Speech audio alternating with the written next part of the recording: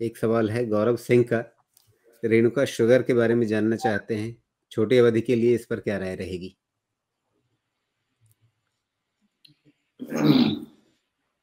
Shri Renuka sugar. तो देखिए ये भी बहुत क्रूशली पॉइज है।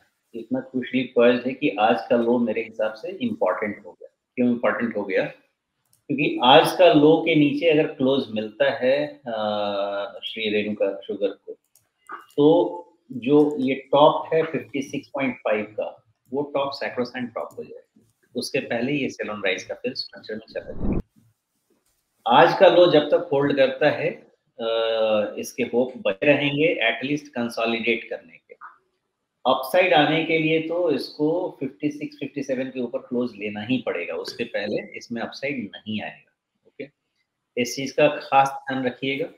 स्ट्रक्चर उतना ज़्यादा खराब नहीं हुआ है बिकॉज़ हो भी सकता है कि सेकेंड टाइम टेस्ट होता है टू डी में मोस्टली होता है। तो ये होके रह भी जाए। लेकिन आज के नी, लो के नीचे का क्लोज होना बहुत अच्छा इंडिकेशन नहीं होगा। इस चीज़ का ध्यान रहे। तो कॉन्टूअर्स बहुत क्लियर है। आज के नीचे का लो मतलब fifty two rupees fifty two rupees के आसपास का और ऊपर में fifty six fifty six point five का जो भी टॉप है। यही आपका रेंज है। फ़िलहाल इसका स्ट्रक्चर क्लियर नहीं है। जब तक 56, 57 नहीं निकल जाता है सेल ऑन राइस का ही स्ट्रक्चर रहेगा। इस चीज़ का ध्यान रहे।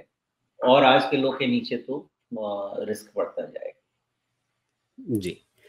तो श्री रेणुका के बारे में बहुत क्लियर लेवल्स आपके सामने स्टॉप लॉस भी हैं। मतलब कौन सा स्तर टूटने पर खतरा बढ़ जाएगा वो स्तर सुमेश ने आपको बता दिया।